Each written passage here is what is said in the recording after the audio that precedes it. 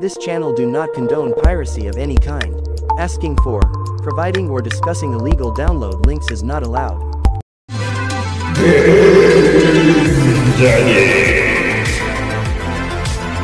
Hello Game Daddies. Game Daddy here, and welcome to our channel where you're never too old for video games, and we're all about to dive into the world of Android emulation. In today's exciting episode, we'll be talking about Citra Enhanced, Pizza Boy A, Yaba Sanshiro Android, and Horizon Emu, so grab your joysticks and game on. But before we start if you haven't subscribed yet to the channel, please subscribe, and hit the notification bell icon so that you'll be updated with the latest news, tutorials, and anything about Android emulation, let's go. Let's talk about Nintendo 3DS emulation on Android with Citra Enhanced. Good news Citra fans, a brand new update of Citra Enhanced just dropped, version 1.3.0. In this update they fix a syntax error that maybe caused crashes on OpenGL. Update about links to Citra Enhanced ones. Run screenshot capture function in paused state by capturing next frame.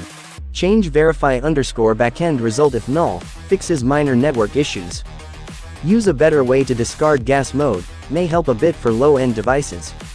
Re-implement Weihuoya stream buffer hack and roll back some stream buffer stuff. Implement Adreno GPU boost. Properly fix non-runtime runnable settings. Remove unnecessary surface destroy when pausing emulation, may fix issues. Rework settings UI, add button D-pad bindings. Gamepads can now control the in-game menu. Re-implement frame skip feature of old Citra, this feature is buggy for now, less games works fine with it. Improve backend detection. Switch Ray's CPU ticks to general section.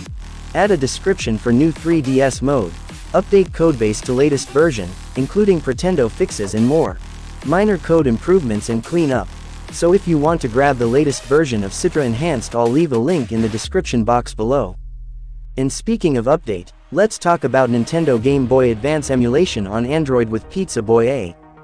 Pizza Boy A Pro the paid version just got a brand new update, version 2.10.1, and in this update Davide Berra fixed missing ARM ops. He also added support for .pch file import, fixed crash on cheats DB update. So if you want to test the latest version of Pizza Boy update your Pizza Boy now. Quickly, let's talk about Sega Saturn emulation on Android with Yaba Sanshiro. Yaba Sanshiro 2 Pro the paid version just got a brand new update, version 1.14.9 Pro. In this update DevMiyax fixed the glitches of rotate screen in Virtual On and Radiant Silvergun, so if you're experiencing the same issues it's better to update your Yaba Sanshiro 2 Pro to the latest version. Lastly, a new app just emerged that allow users to run Windows applications or games just like Winlator, and it is called Horizon Emu. First I was hesitant to try this app but my curiosity leads me to this mind-blowing discovery. I can't believe that I was able to run a PC game like Devil May Cry 4 on my phone, and not just that. I was able to run Flash games and Mugen games too. For those who are not familiar of Mugen it's a fighting game engine that allows you to create your own fighting game. What's more amazing about Horizon Emu is, it's not complicated to use unlike Winlator. No more command lines or codes to paste or whatsoever, all of the prerequisites of the emulator is one click away to download. I've made a few videos of Horizon Emu running a PC game, Mugen and Flash games that you might want to watch. Inspire me to make more videos like this by subscribing to the channel.